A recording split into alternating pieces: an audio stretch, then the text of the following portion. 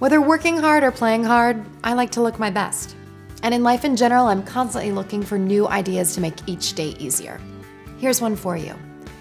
You can eliminate static buildup on your computer screen by spraying static guard on a cloth and wiping it down.